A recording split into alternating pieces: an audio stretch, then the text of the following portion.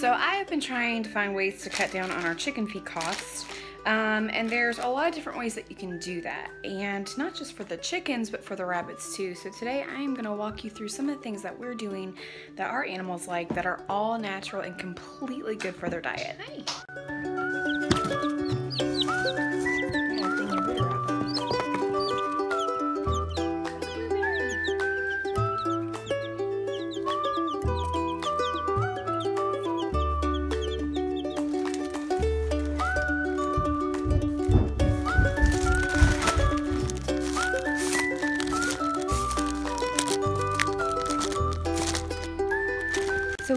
The chickens out, in here we have some blueberries that went a little bit too long, some strawberries that Junior ate off of that didn't finish.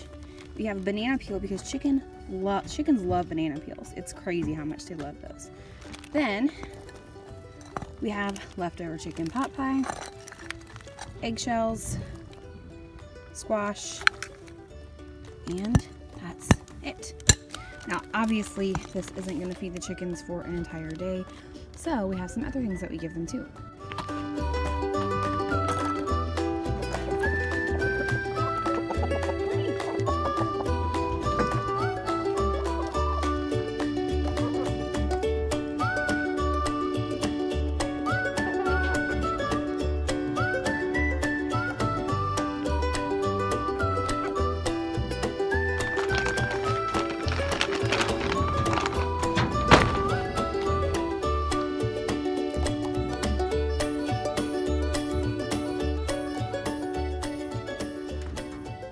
So this is chaff hay, chaff hay. And it literally is pasture in a bag. It is alfalfa that they cut and then they immediately throw into these bags um, so that it ferments, naturally ferments. So not only are they getting a high percentage of protein um, pasture grass, but it's also fermented, so it has all that great bacteria in it that um, really helps with their with their digestive tract. Um, we give this to our rabbits and our chickens and in the future any other livestock that we may have. Now this bag is a 50 pound bag and it cost me about $15 at our local co-op. Um, but I will normally not get a bag this big. I got a bag this big because it was on sale. And, um, but it, you have to use it up in about 14 days after opening it. it you'll know when it's gone bad, it'll smell really nasty. Um, so they make a smaller size bag too that's like, I think it's like $8 or something like that. But I got the big bag, so it goes to our chickens and it goes to our rabbits, and they love it. It's such a great supplement to their feed. In fact, you could feed them this on a regular basis. If you didn't want to go buy alfalfa, you can buy this, and they actually eat less of it because it fills them up quicker. So this is another great option for your chickens and rabbits.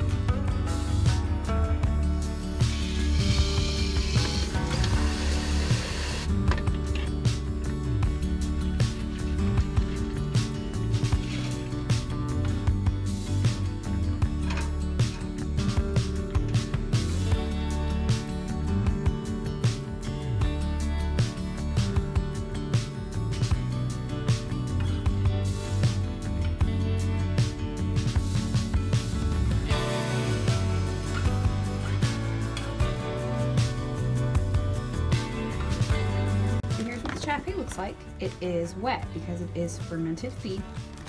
So keep that in mind. It smells like a silo. If you've never been on a farm, then you wouldn't understand. But it smells just like a silo, corn silage.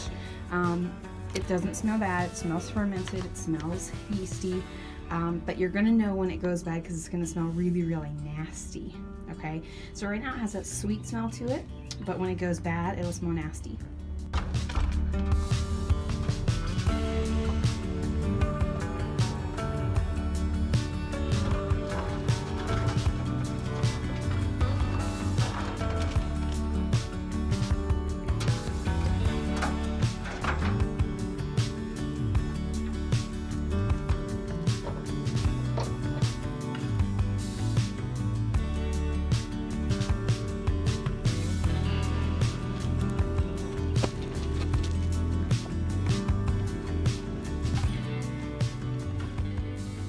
Of course, chickens and rabbits need a well-balanced diet, so keeping them on some sort of feed is a good idea, especially if you have laying hens.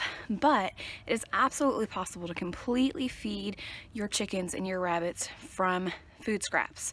From food scraps, from good quality hay, from chaff hay, and from feeding them a raw food diet. So rabbits typically need one quart of raw food per day. If you are planning your garden, now is the time to plan your garden for this year if you're planning a rabbit garden. A lot of times we grab um, we let our backyard grow up a lot and we will grab grass clippings from the backyard and give it to the rabbits throughout the whole summer.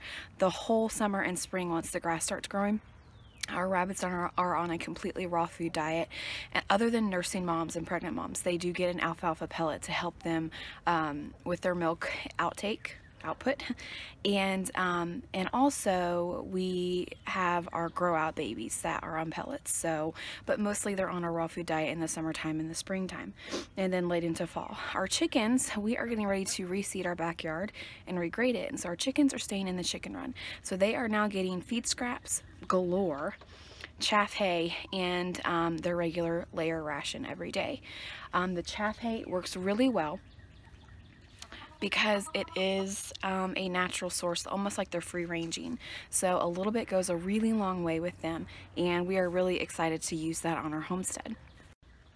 Justin Rhodes did a really cool video that I'm going to link above and below about um, a guy feeding 600 of his chickens completely on food scraps. And that was really inspiring for me. I came at the right time because I was really looking for a way to feed our chickens with less waste for us and with um, a more natural way. A lot of people you hear that you can't feed chickens unless you give them a layer ration and while in some areas that's true there are ways to get around constantly buying them food and that is with the food that you eat every single day. Um, we get the food scraps and imperfect food from farmers markets, from the store aisle where you can get um, discounted produce, uh, even organic discounted produce. And then we have the chaff hay, which is really quite reasonable and lasts quite a while. Um, like I said, they do make the smaller bags that you can get. The chaff hay is great because typically chickens will go through alfalfa and they'll just pick out the seeds and the bugs, but this chaff hay is fermented and so they can eat the whole chaff hay and it's good with beneficial bacteria for them. It's really cold this morning. Look, the chickens are all puffed up. Your rabbits are really going to love the chaff hay too. Like I said, they only need about a quart of raw food every day per rabbit. But nursing mamas and babies and outs might need a pellet.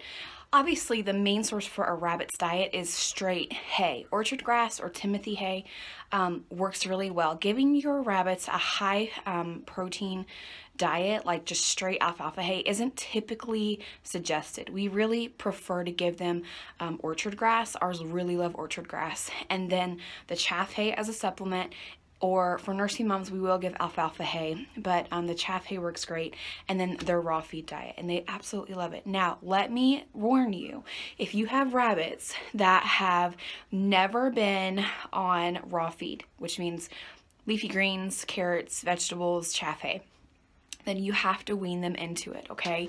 Um, rabbits are have a very, very uh, sensitive digestive tract and you need to really give them a lot of good quality hay before you start introducing any raw food to them. So just keep that in mind over a three to five day period, wean them off of their pellet and then onto the raw feed so you don't want any digestive upset. Feeding the chickens a raw feed diet has not upset their production at all. In fact, it's increased it by a few chickens starting to lay more often. And so we really uh, are seeing great evidence with this. And um, I hope that you guys can kind of take it as an inspiration that sometimes you can get rid of the pellet and not have to feed what you think you have to feed. Alright, that's it for me today, guys. I hope this video finds you well. I do want to encourage you. Um, there's a book about rabbits. It's called Beyond the Pellet, and it's written by Boyd Craven, and he's the mastermind behind the Backyard Meat Rabbit Facebook group. And so I want to encourage you to check that book out for your chickens, and then, or for your rabbits. And then, check my book out coming out next spring for your chickens. So, all right, guys, have a great day. Talk to you later. Happy homesteading.